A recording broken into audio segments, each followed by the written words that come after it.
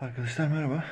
Ee, Bugün yetkinlik bazlı e, mülakat tekniği ile alakalı bir e, video çekeceğiz ve videomuz e, yani STAR tekniği ile alakalı olacak. STAR tekniği nedir? Nasıl çalışır? Nasıl işler? Sonucunda ne elde edilmek istenir? Bunlara bakacağız ve neyi amaçlar? Buna bakacağız.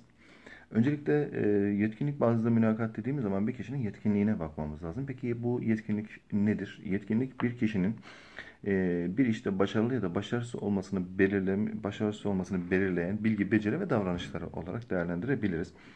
E, burada yetkinlik bazlı e, mülakatta yani STAR tekniğinde kişinin yetkinliklerini net bir şekilde ortaya çıkarılmasını amaçlamaktayız ki e, gelecekte e, personel olarak alacağımız kişinin aynı e, geçmişte göstermiş olduğu tutum ve davranışlarından gelecekte de aynı koşullarda, aynı özelliklerde veya benzer koşullarda aynı tepkileri vermesini e, ölçmeye yarayacak bu. Yani bir olay karşısında ne tepki verdiyse veya yetkinliklerini iyi bir şekilde ölçebildiysek bizim şirketimizde de aynı performansı göstermesini ve aynı özellikleri belirlemesini bekleyebiliriz.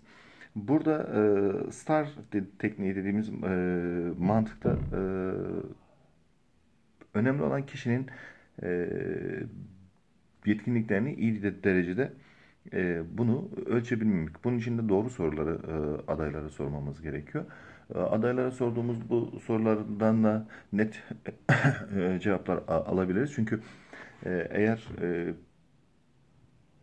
kişi e, deneyimli bir personelse veya e, verdiğimiz sorulara doğru cevaplar veriyorsa net bir şekilde ortaya çıkacaktır bu. Ama e, özellikle deneyimsiz personel, yenice başlayacak, işte üniversitelerden yeni mezun olmuş veya iş hayatına daha hiç atılmamış bir kişiyi e, yetkinlik bazı mülakat teknikleri, e, mülakat uygularken yani start tekniğini uygularken e, özellikle deneyimsiz kişiden e, yani geçmişe yönelik bilgi becerilerini, deneyimlerini net bir şekilde öğrenemeyebiliriz. Bu gibi aksak yönleri de var tabii ki ama bu tekniğin iyi olmadığı anlamına gelmiyor. Bu yetkinlik bazlı teknik sürekli olarak kullanılabilmektedir.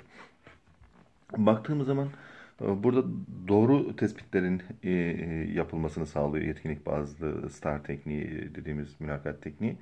Doğru tespit etmemizi sağlıyor.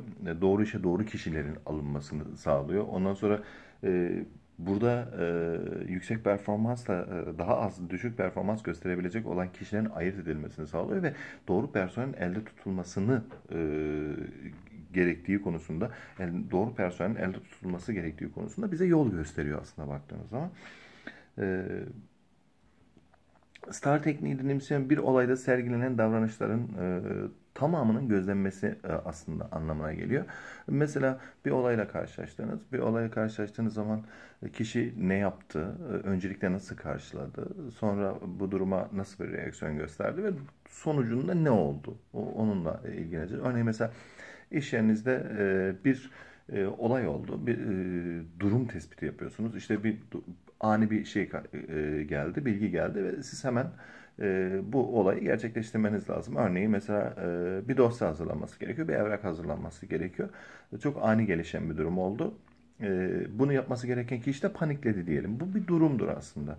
Bunun haricinde e, arkadaşının paniklediğini gören e, diğer arkadaşı ona yardımcı olmaya çalıştı ve dosyayı hazırladılar.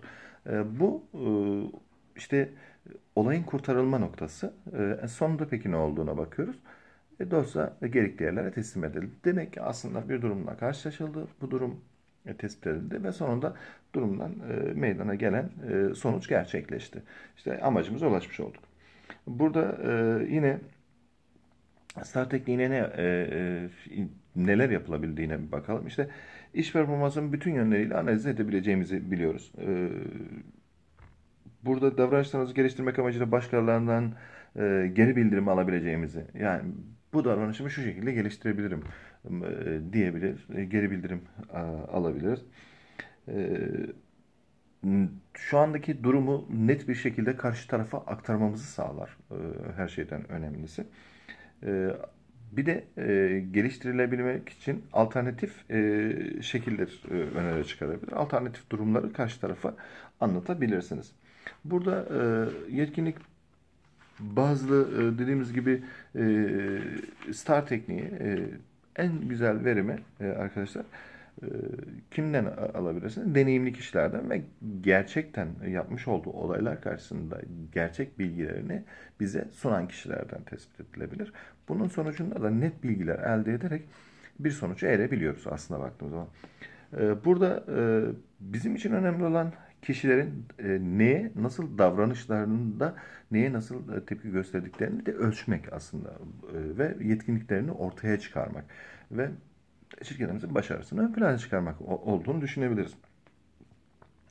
Ee, mesela e, burada e, neler var baktığımız zaman adayın verilen işi tamamlamak e, için hangi yolları izleyeceğini ölçebiliriz. Yani ona bir e, senaryo üretip o senaryo karşısında e, neye ne şekilde tepkiler gösterdiğini e, ölçebiliriz. Mesela bir durumla karşılaştı. Hani biraz önce anlattığımız gibi veya e, yolda giderken herhangi bir şeyle karşılaştı veya şirkette aniden bir şey gelişti. Bu duruma karşı ne tepki gösteriyor? Tepkileri ne oldu? Nasıl bir davranış şekli gösterdi ve bu olaya yaklaşım tarzı nedir?